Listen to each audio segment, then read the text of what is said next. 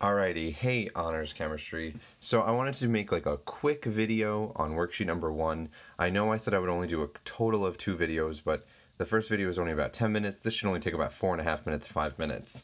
So if you take out worksheet number one, we're not gonna do the front over break. We're gonna do the front when we get back just to check to make sure you understand mixtures and how to separate the difference between a mixture and a compound. That's going to be good checking for understanding. When you flip to the back, I already started some of them, so if some of you are a bit fast, or if you did already, you want to check your work, some of them are already done. But you're going to get questions that are like this, where you have to recognize what type of particle diagrams are present, and then you have to be able to distinguish between atoms, molecules, elements, compounds, and mixtures, or pure substances. So you might need to go back to your notes that you took from my previous video about how to distinguish between all of those. So the first question says, which of these are mixtures? So going through each of them, I started to make a note that in this first container, I have all molecules. Remember, molecules are two or more atoms. Two or more atoms.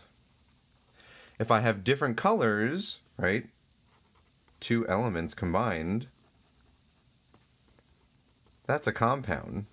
And all of these are the same molecule of the same compound, so this whole thing is a compound. In the next box, I have three different things here. I have an atom of an element. I have what I'm going to call a molecule of an element. This is going to be huge. Make sure you know that it, if it's the same color, it's an element. But if I have more than one, it's still a molecule. So I have a molecule of an element, an atom of an element, and then I have a molecule of a compound. I have three different things here, three different substances here. Two or more substances combined is a mixture, so B was definitely a mixture. Then, if I go into the third container, I have all of the same particle. Since they're all the same particle and all the same color, this is definitely an element. But what kind of element? This is a molecule of an element.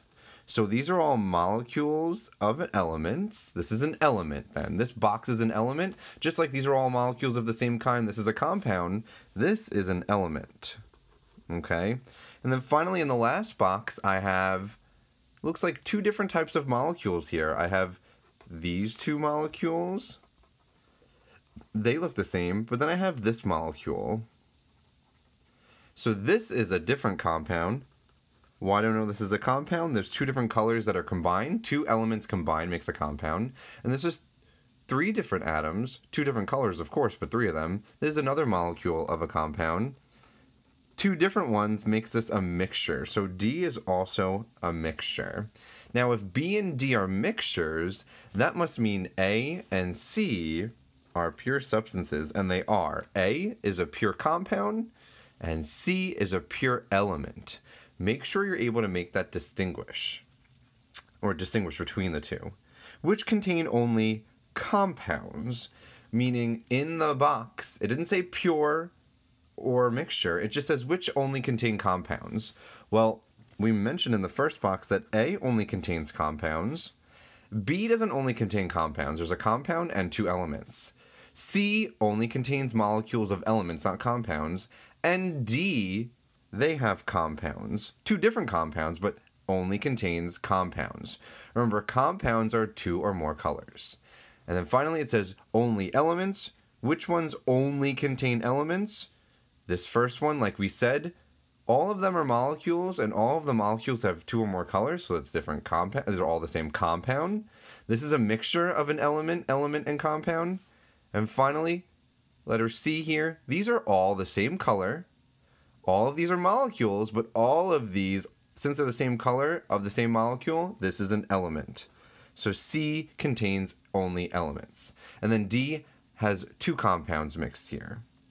So all I want you to do um, is copy these answers and make sure you understand this. And when you get back from break, we're going to go over and make sure we understand more of understanding particle diagrams and distinguishing between elements, compounds, and mixtures and pure substances.